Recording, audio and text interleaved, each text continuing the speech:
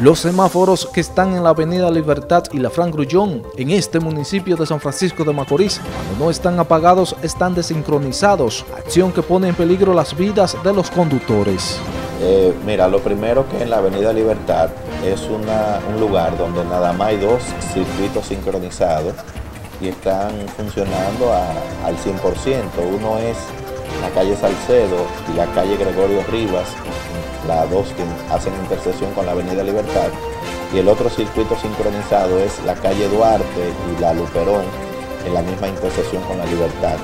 Son los únicos dos lugares que están sincronizados y hasta ahora están funcionando.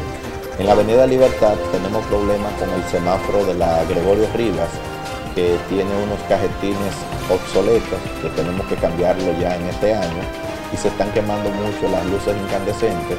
La brigada hace un arduo trabajo manteniéndolo en funcionamiento.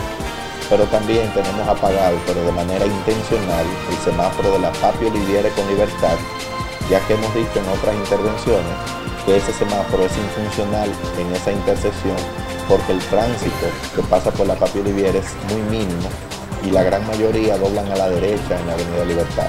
Estamos analizando la posibilidad de mover, trasladar ese semáforo a otra intersección que sea de mayor flujo, tales como la calle Castillo con Colón, la calle Castillo con Santa Ana, u otra intersección que amerite la instalación de un semáforo de manera urgente. Esa es la situación que está pasando con los semáforos de la libertad. Luego, todo el parque de semáforos, con algunas excepciones de luces quemadas, está en pleno funcionamiento. NTN, Robinson Polanco.